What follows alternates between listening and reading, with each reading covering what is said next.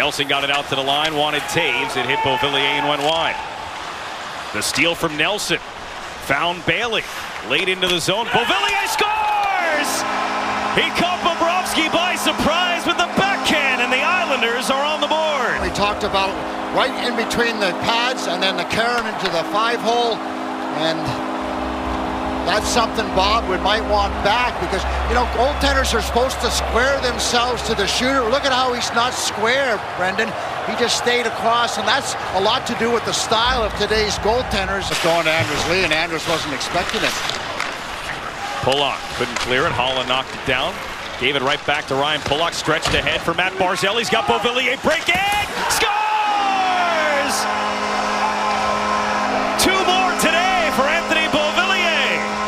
The wing and Barzal sees him all the way. Beautiful pass. It's flat. No hesitation at all. As we talked about a crucial penalty kill. Got to get to the intermission with a two-goal lead, but Barkov has other thoughts down for Huberdeau with lots of time, and they score immediately.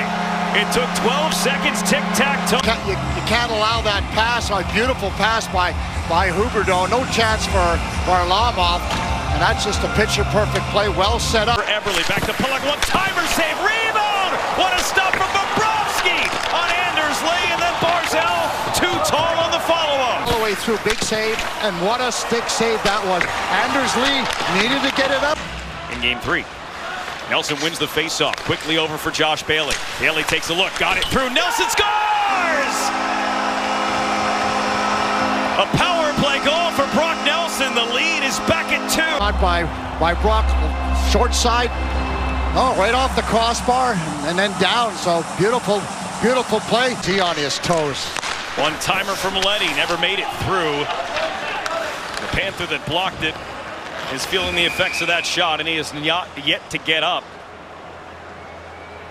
My sense is he'll be all right. That just stings for a while. He's going to the dressing room. It on net. Eberle off the glass and out of the zone. Matt Barzal has the feet moving. Barzal in on Bobrovsky scores! What a time for the first of the series from Matt Barzal. It's 4-1 in the third. Uh, they just weren't going to catch him. And Panthers were pressing and a, a great outlet pass to Barzal. You knew he's going high glove, and there's a little pass off the boards by Jordan Eberle. And Barzal uses his speed, protects the puck. He's the only guy back, and Barzal up and over.